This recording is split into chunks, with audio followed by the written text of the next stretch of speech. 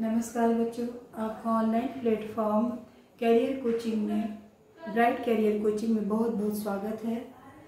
आज हम आपके बायोलॉजी में बाउशेरिया या विचेरिया वैनक्रोफ्टियाई के विषय में बताना चाहते हैं, ठीक है? तो वाउचेरिया या विचेरिया वैनक्रोफ्टियाई क्या होता है और ये इस तरह से ये क्यों डिज़ीज़ कौन सी डिज़ीज़ को कॉज करता है? और इसको सबसे पहले इसका नाम किसने दिया था? आइए हम आज जानते हैं। सबसे पहले नाम देखिए यहाँ पे क्या है? जोसेफ बैन क्रोफ्टियल ये कौन थे? ये एक ऑस्ट्रेलियन थे। कौन थे ये? ये ऑस्ट्रेलियन थे। उनका नाम था जोसेफ बैन क्रोफ्टियल ठीक है? और फिर उसके बाद ब्राजीलियन थे जो कि उनके, ये उनका नाम था doctor Otto Wucherer. Doctor Otto Wucherer, जो कि इन्होंने लाइफ साइकिल के एस्पेक्ट में डिस्कवर किया हुआ था। तो उसके नाम पर यहाँ पे क्या हो गया? वाउचेरिया वैनक्राफ्टिया इन्होंने एक क्या देखा था? एक वर्म लाइक स्ट्रक्चर देखा था, ठीक है? जो डिस्कवरर के जो नाम के वजह से इसका जो वर्म लाइक स्ट्रक्चर उसका नाम क्या पड़ गया? वाउचेरिया वैनक्राफ्टियाई ठीक है? ये क्या कहते हैं इसको? एक फाइलेरिया वर्म भी कहते हैं। फाइलेरिया वर्म ठीक है? आप लोगों ने सुना होगा हाथी पाव या फील पाव। फील पाव या हाथी पाव मीन्स क्या होता है? हाथी पाव मतलब होता है कि जो शरीर के जो ऑर्गन्स होते हैं, सबसे हाथ और पैर बिल्कुल बहुत ही मोटे फूल जाते हैं, एकदम हाथी की तरह से स्ट्रक्चर उसके जो पैर के दिखाई देते हैं। इसके वजह से उसको बोलते हैं हाथी पाव और फील पाव क्या होता है? फील एक उर्दू शब्द है। उर्दू शब्द है फील एक उर्दू शब्द है, जिसके उसका भी मतलब होता है कि बहुत बड़ा एक भी का है बॉडी ऑर्गन्स उसके नाम पे ये फील पाव और ये फाइलेरिया वर्ग की वजह से ये हाथी पाव या फाइलेरेसिस कहते हैं, ठीक है? इसको रोग होने वाले क्या बोलते हैं? क्योंकि फाइलेरिया से होता है, इसलिए इसको बोलते हैं फाइलेरियसिस ठीक? आइए हम इसके मॉर्फोलॉजिकल स्ट्रक्चर के विषय में जानते हैं। क्या होता है मॉर्फोलॉजिकल स्ट्रक्चर एडल्ट क्या होता है? देखिए एडल्ट जो थे, इसमें क्या होता है कि सबसे पहले तो ये देखिए क्या है? ये डाइजेनेटिक है। ये डाइजेनेटिक है। डाइजेनेटिक पैरासाइट्स है। इसके दो होस्ट में इसके लाइफ साइकिल कंप्लीट होती है। पहला है ये प्राइमरी होस्ट और दूसरा है ये सेकेंडरी होस्ट। स्टार्टिंग पोजीशन में ये इसमें किसमें रहता है? ये मैन में रहता है। प्राइमरी होस्ट ये कौन है इसका? मैन है। फिर उसके बाद सेकेंडरी, दूसरा जो होस्ट है, इंटरमीडिएट होस्ट है, उसको क्या बोलेंगे? मॉस्क्यूटो मॉस्क्यूटो ठीक है? और इसमें क्या है मेन ये फीमेल मॉस्क्यूटो से ये डिज़ीज़ कॉज होता है। उसमें कौन कौन से आते हैं? जैसे क्यूलेक्स प्लेपिनेस ठीक है? प्लेपिनेस स्पीसीज जो होती है क्यूलेक्स की, वो डिज़ीज़ ये कॉज करती है। और इसके अलावा और भी मच्छर है, जैसे एडीज और एनाफिलीस एडीज और एनाफिल ये कहा मेनली कहा ये होता है? ये सेंट्रल अफ्रीका में, बहुत ज़्यादा ये संख्या में ये इसके मरीज़ वहाँ पे पाए जाते हैं। Means tropical and sub tropical region को अगर हम देखेंगे तो उधर जो है ये फाइलेरिया से ग्रसित जो मरीज़ होते हैं, यानी पेशेंट होते हैं फाइलेरियसिस बीमारी वहाँ पे बहुत ज़्यादा ये फैलती है। ठीक है? जैसे आइसलैंड में, Iceland, China, India and Japan. ठीक है? कुछ इसके सिम्टम्स क्या है? ये जैसे हमने बताया कि सिम्टम्स यही होते हैं जो ऑर्गन्स होते हैं बॉडी के जो ऑर्गन्स होते हैं बहुत ही बड़े फूल जाते हैं। एकदम ऐसे लगता है जैसे कि हाथी के पाव की तरह से संरचना बन गई है। पैर में पैर एकदम उसी तरीके से वो दिखाई दे रहा है। ठीक है? लेकिन एक इसमें एक, एक बात और है no infection in Europe area ठीक है? कहाँ पे ये नहीं इन्फेक्शन फैलता है? मतलब नहीं पाया जाता है। यूरोप एरिया में इन्फेक्शन ये कॉज नहीं होता है, ठीक है? वहाँ की क्योंकि ड्यू टू क्लाइमेटिक कंडीशन वहाँ की क्लाइमेटिक कंडीशन कुछ ऐसे हैं जिसकी वजह से वो इन्फेक्शन कॉज नहीं करता है। मेनली क्या है ट्रॉपिकल एंड सब ट्रॉपिकल रीजन में बहुत ज़्यादा ये पाए जाते हैं, इनके मरीज़ पाए जाते हैं, ठीक है? आइए हम मॉर्फोलॉजिकल स्ट्रक्चर देखते हैं कि फाइलेरिया जो होते हैं फिलेरिया इस बोलेंगे फिलेरिया तो ये क्या होते हैं इसमें होते हैं male and female male and female ये दोनों ये होते हैं। एडल्ट में एडल्ट जब ये हो जाते हैं, उस कंडीशन में क्या होते हैं, ये ट्रांसपेरेंट होते हैं हेयर लाइक स्ट्रक्चर होते हैं। So sexual dimorphism means sexual dimorphism means हो गया मेल और फीमेल दोनों अलग अलग होते हैं, ठीक है? और मेन जो वर्म होता है, ये कैसे, इसकी जो मेज़रमेंट क्या है, ये 2.4 से 4 सेंटीमीटर ये लॉन्ग होता है और फीमेल क्या होता है? ये एट से टेन सेंटीमीटर ये लॉन्ग होता है। ठीक है? मेल क्या होता है? 2.4 से फोर सेंटीमीटर और फीमेल एट से टेन सेंटीमीटर लॉन्ग फीमेल होता है। ठीक है? मेल का क्या कंडीशन है? मेल हैज़ कर्व टेल जो मेल होता है, उसको मैं से पहचानते हैं, जो मेल होता है, उसकी जो टेल रीजन होता है, वो क्या होता है? वो कर्व होता है, मुड़ा हुआ होता है, ठीक है? वहाँ कुछ सेंसरी हेयर्स भी पाए जाते हैं, जो कि कॉपरेशन के समय वो वहाँ पे उसका फ़ंक्शन होता है, ठीक है? और फीमेल क्या होता है? फीमेल का जो टेल होता है, वो क्या होता है? बिल्कुल नैरो होता है, ठीक है? फीमेल का टेल क्या होता है? नैरो होता है, और मेल का टेल क्या होता है? वो क्या होता है? कर्व लाइन होता है, ठीक है? कर्व होता है कर्व टेल पाए जाते हैं। कॉपुलेशन क्या है? Copulation occurs in lymph gland copulation जब मेल एंड फीमेल है ज़ाहिर से है तो क्या हो जाएगा? कॉपुलेशन होगा।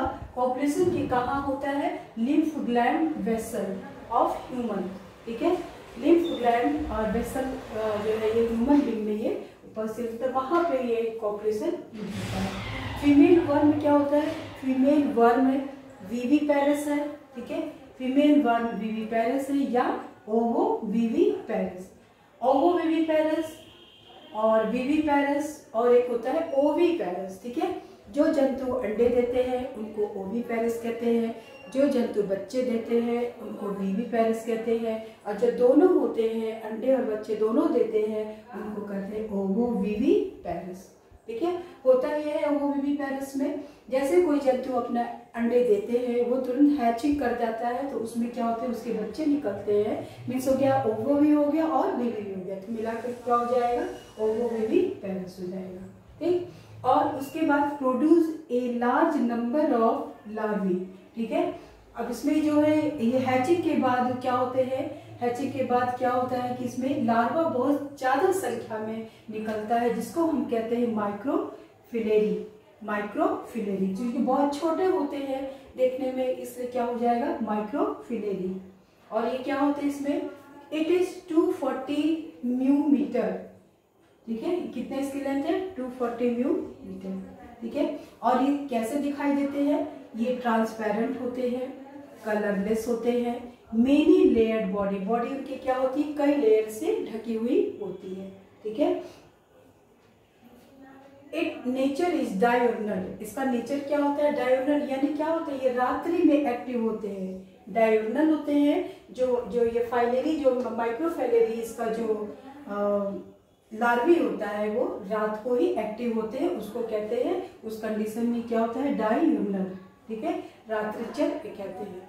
और इसके पीरियोडिकली मिड नाइट और ये आधी रात को ये क्या होते हैं, बिल्कुल एक्टिव होते हैं। इनका टाइमिंग होता है कि आधी रात को बिल्कुल एक्टिव हो जाते हैं, जो पेशेंट से इससे ग्रसित होता है। They remain in blood vessel उसके बाद ये क्या होते हैं, ये ब्लड वेसल में उपस्थित दिन भर वो क्या होते हैं कि ब्लड वेसल में ये पड़े रहते हैं। अब जैसे ही वो रात होता है, वो होते क्या है, वहाँ से निकल करके वो कहाँ आ जाते हैं? स्किन के नीचे आ जाते हैं। जस्ट स्किन के नीचे आ जाते हैं, ठीक है? देखिए, जस्ट बिलो ये जो होता है नियर द स्किन बिलो अब इन डे टाइम अब उसके बाद जैसे दिन जब होने लगता है, दिन के टाइम में क्या करते हैं, ये डीप स्किन वेसल्स में चले जाते हैं। डीप स्किन वेसल्स में ये चले जाते हैं, ठीक है?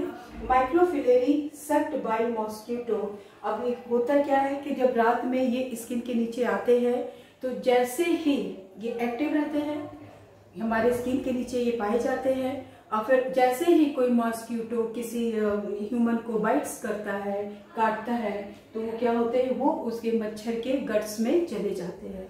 मच्छर के गट्स में चले जाते हैं और फिर वहाँ क्या होता है? अभी तो ये क्या है? ये ये लार्वल स्टेज में है। मच्छर के उसमें गट्स पे जाने के बाद इनको क्या है? ये क्या करते हैं कि वहाँ पे कई लेयर होते हैं, इनके कई लेयर के बने होते देखिए microfilariae shed off their multi layer in ten and eleven days ग्यारह से दस से ग्यारह दिनों के बीच में जो इनकी जो बॉडी मल्टी लेयर्ड होती है, कई कवर होते हैं, कई लेयर्ड होते हैं, उसको वो क्या करते हैं, वो हट जाता है, ठीक है? सेट ऑफ़ वो क्या होता है, वहाँ से हट जाता है। हटने के बाद क्या हो जाता है, वो बढ़ते हैं। और बढ़ते बढ़ते उनके तीन स्टेज आती है फ़र्स्ट सेकेंड एंड थर्ड ठीक है? तीन स्टेज के बाद वो क्या होते हैं? बिल्कुल वो now the larva reach the labrum of the mosquito. अब ये मच्छर के बॉडी में है, उसके गट्स में है, और उसके बाद वहाँ से वो तीन तीन स्टेज के बाद वो आते क्या है? उसके मच्छर के लेब्रम में उपस्थित जो कि माउथ पार्ट होता है, लेब्रम माउथ पार्ट एरिया उसको लेब्रम बोलते हैं, वहाँ पे उपस्थित होते हैं। क्योंकि वो उसके उपस्थित होते जैसे ही स्वस्थ किसी पर्सन को काटता है तो वहाँ से वो लेब्रम के थ्रू वो पिरसिंग वो क्या करते हैं? पिरसिंग करके उसके बॉडी के अंदर स्वस्थ मनुष्य में वो पहुँच जाते हैं, उनके ब्लड में पहुँच जाते हैं, ठीक? तो इस तरह से अगर देखें तो इनकी लाइफ साइकिल जो है वो दो पोस्ट में कंप्लीट हो रही है मेन में और मॉस्किटो में हो रही है, ठीक है? उसके बाद होता है क्या है, क्यों हाथी पाँव जैसा शरीर हो जाता है, होता ये है कि लिम्फ नोड जैसे वो लिम्फ नोड है, ठीक है? ये ऐसे है, उसके बाद ये करते क्या है कि यहीं पर ये ये ब्लॉक किए रहते हैं।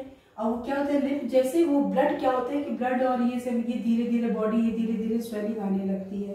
क्योंकि ये पास ही नहीं हो पा रहा है, यहाँ पे उपस्थित है, यहाँ पे इनका, ये अपना जगह बनाने यहाँ पे रहते हैं। तो वो ब्लड नीचे पास ही नहीं हो पाता है, जिससे कि शरीर जो होता है, पैर वो बिल्कुल फूल जाता है, हाथी की तरह से हो जाता है, त्वचा तो फट जाती है और बिल्कुल मोटा ये हो जाता है, ठीक है?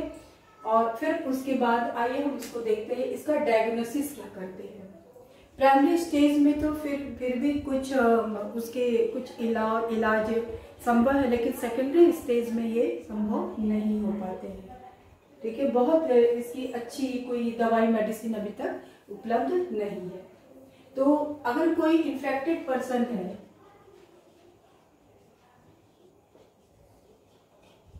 इन्फेक्टेड पर्सन है तो उसके क्या होते हैं, उसके लिम्फ नोड की बायोप्सी होती है, ठीक है?